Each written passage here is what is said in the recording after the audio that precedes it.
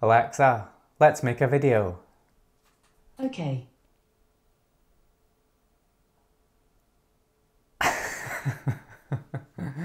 There seems to be a lot of confusion when it comes to Alexa and Google Home within Home Assistant.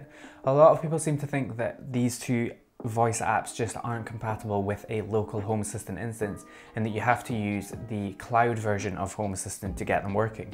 And that's just not true. Both of these will work perfectly fine with Home Assistant.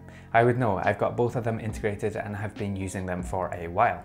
To be fair to the people that think they aren't compatible, I will admit it's not exactly an easy process for either of these two voice assistants to add them to Home Assistant, but that's just the nature of these cloud devices, I guess. But today we're going to be running through how to add Alexa to your local Home Assistant instance with no cloud required. If you want me to do the same process for the Google Home, I'd be happy to do that. Just let me know in the comments down below. But today we're covering Alexa and I will forewarn you, it's not exactly a straightforward process. It's not just a click of a button to add Alexa, there is quite a few steps to go through. But if you follow the video through, you should be able to get it up and working in probably about 20 minutes. I do want to mention that if you're not comfortable doing these steps, then you can use the Home Assistant Cloud option, which costs $5 per month, and that money goes towards funding the Home Assistant project and the developers, and I would highly encourage you to do that if you can afford to do so. The process for setting up Alexa and Google Home on there is a much straightforward process. But for those of you feeling a little bit adventurous, let's waste no more time and just jump straight into the guide. All right. Always keep hydrated. Okay, so to get started, there's a few things we're gonna need. The first thing is to sign up for an AWS account. It's free and it just takes a couple of seconds. You'll also need to sign up for an Alexa developer account, which you can find over on this link here. You'll also need access to your Home Assistant instance and that is about it. So once you've signed up for your AWS account, you'll land at the AWS Management Console. And then the first thing we're going to do is to type into this box and search for IAM and click on the IAM dropdown. Then we're going to head over to roles and we're going to create a new role. This is going to be for an AWS service and it's going to be for the Lambda service. So click on the Lambda service and click on next. In the permissions, we want to search for Lambda and we're going to search, we're going to um, tick the Lambda basic execution role and click on next. We can skip this one by clicking next and we'll give this a name. So I'm just going to call this Home Assistant Lambda. Click on Create Role to finish that. And now you'll see we have our new role created. Next, head over to the Alexa Developer Console and we're going to create a new skill. So create your skill. And in the skill name, I'm just going to name this Home Assistant and we're going to click on the smart home skill and click on provision your own and then back up at the top click on create skill. So we're going to leave this page open and we're going to head back to the AWS console. Click on um, the AWS account in the top left. One important step you'll need to do is to set your region to one of the supported regions for Alexa skills and that is Ireland if you are in the EU uh, US East North Virginia if you are in the US or Canada, and US West Oregon if you are in Australia or Japan. I'm going to select the Ireland one because I'm in the EU. And then from there, in the services, we're going to search for Lambda. Click on the Lambda. And then in the top right, we're going to create a new function. We'll take the create from scratch and give it a name of Home Assistant. And then in the runtime, select the Python 3.7 and change the default execution role to the one that we just created earlier. So we'll select use an existing role and then in the dropdown, you'll see that Home Assistant Lambda role that we created earlier. Select that and then create function. And then the Lambda sort of builder is going to show up and then that is going to allow us to put in our code that is going to interact with Home Assistant. Click on the add trigger and then in the trigger type we're going to select the Alexa smart home. No, no, no, Sorry, no. I don't know that.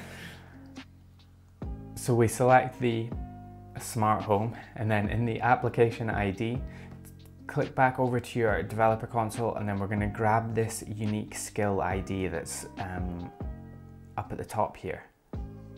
So click on the copy button and go back to the Lambda and paste that into the application ID. Click on add. Once you've added in the trigger, then select the Home Assistant Lambda function and scroll down to the code box. We're going to get rid of all this default code going to copy some code in from GitHub and I'll have that linked in the description down below so you can find it. Head back to the code and then paste in that code from GitHub. And then after pasting in that code, we're going to head back up to the top and click on the deploy button. And that'll give us a message that the um, code was successfully deployed. We're then going to create a test event to link our Alexa account to Home Assistant. Click on the select test event and click on configure test events. Create a new event and we're going to call this a discover or discovery and then get rid of the default values. We're going to paste in some code and I'll, again I'll have this linked in the description so you can find it. Copy that and then paste it into the code box and click on the create button. From there, we're going to need to add a couple of values into the Home Assistant configuration. So head over to your Home Assistant instance and edit the config file.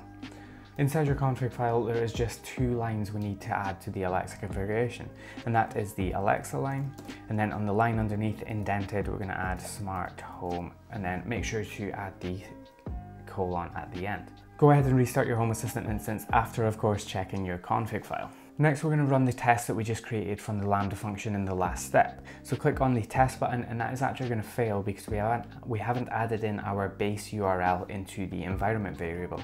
So if we click on details, you can see that the error message says that we haven't set our base URL. And so we can do that by heading down to the environment variables and clicking on edit. we're going to add a new environment variables. Add base URL as the key, and then in the value you need to enter the URL for your externally available Home Assistant instance.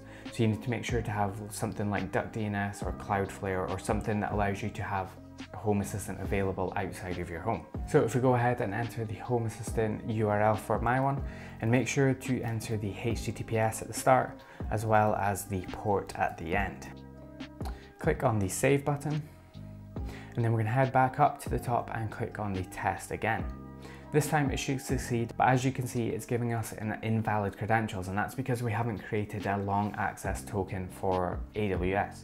So we'll, we'll go and generate a token in Home Assistant and we'll come back and we'll tell the Lambda function what that token is. So head back to your Home Assistant instance and then click on your profile and scroll down to the very bottom. Click on Create Token and then we're going to give this token a name of Alexa. Click on OK and it's going to generate a very long random string. Copy this whole value and click on OK and head back to the Alexa developer console. Sorry, head back to your AWS console. Click on the test dropdown and click on configure test events. In the type bearer token, we're gonna we're gonna add a new line, so put a comma at the end, and then in quotes, enter token, and then open quotes again and paste in that value that we just copied. Click on save. And this time, if we run the test again, you'll see it has actually succeeded and it's pulling through um, some of the values from, or all of the devices from Home Assistant. We've got my Hall PIRs, um, and if we scroll down, there'll be a whole ton of other um, so there's my fingerprint sensor, etc, etc. It's got all of my devices now listed in the um, test there. So we can close that. And then we are now done in this page. The only thing we need to do is to copy the ARN from the top. So click on the copy and that's this unique value here. So copy that, head back to our Alexa developer console. In the default endpoint, paste in that value that we just created. And we can then click the save button and that is now saved and then we can head down to the account linking. Don't tick any of these options up at the top. but we do need to enter a couple of values at the bottom. In the web authorization URI, we're going to enter the URL of your Home Assistant instance that is available external. Make sure of course to enter your port at the end, so I'm using port 8123, and we also want to enter slash auth slash authorize. Oh. Next on the token URI, it's going to be the exact same, except the end value is going to be slightly different. So make sure to enter the port again and then enter slash auth slash token. For the client IDs, we're going to actually grab this value down from the bottom. If you're using the Australia or the Japan um, region, like we discussed earlier, you'll want to grab this one at the top. If you're using the US region, you want to grab this middle one. And if you're using the EU region, you want to grab the bottom one. Make sure to only grab up to the third forward slash, so up to .com forward slash. Copy that and then paste that into the ID. If you're using the US region, you would grab this part. And if you're using the um, Australia, Japan region, you would grab up to this part. Paste that into the box up here. And then in the secret, we can enter anything we want. It's not used. And then in the drop down, click on credentials in request body. For the scope, this isn't actually used at the moment, but the Home Assistant developer says it would allow them to use it in the future. So we just go ahead and enter smart underscore home in here. And then that is everything we need to create in here. Up at the top, click on save. Now we can head over to the Alexa app in iOS or Android, and then we can just finalize the setup and add all of our devices into Alexa. Okay, so inside the Alexa app, click on your skills and then head, if we slide over at the top, you'll find that we have one dev skill pending. And you'll click on that and you'll see that Home Assistant is now waiting for us ready to be set up. If we click on that and click on enable to use, and then it's going to pop up asking us to log in to Home Assistant and that's actually going to link our accounts to Alexa. And then what's going to happen when I click the next button is it's actually going to come up with an error and I'll tell you why that is. So if we click on next, oh, it would help if I typed the password right.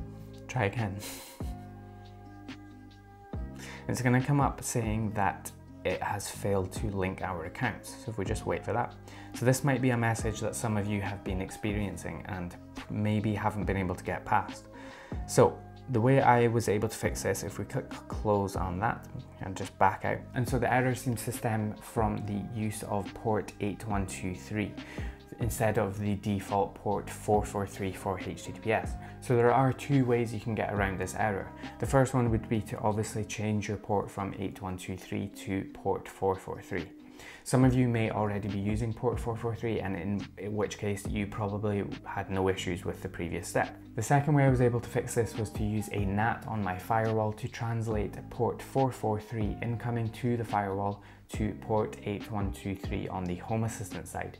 You should be able to do this using your router, but obviously I don't have access to every router to be able to show you how to do that. But I'll show you just how I did it in pfSense, which is my firewall of choice.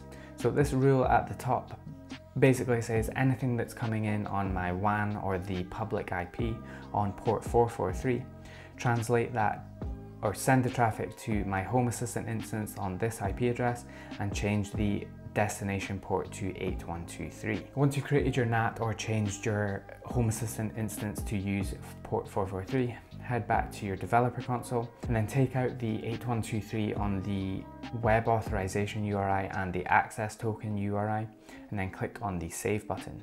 And then this time when we head over to more and then skills and games, click on your skills and then slide over to the dev skills you might need to come off the Wi-Fi temporarily just to get the account linking to work. Once you've done this, you can reconnect your phone, and that's just because um, the network or the NAT that we created earlier is only applying to external connections. So once we've connect, disconnected from the Wi-Fi, click on Enable to Use, and then that's going to then reload the Home Assistant page, and we can enter our username and password. Click on Next, click on Next, and then this time it should come up with a message that the skill has been successfully linked to our Alexa. Click on close. And then it should pop up with all of the it should pop up with the discover devices option. If we want to discover devices, we can just do that now. And you can see that she has now started giving us the blue circle to indicate that she is searching for devices. And if we head over to the devices tab, you'll see that we now have a list of everything in my house. And so that is how to integrate Home Assistant with Alexa. You can see it is entirely possible to do it locally.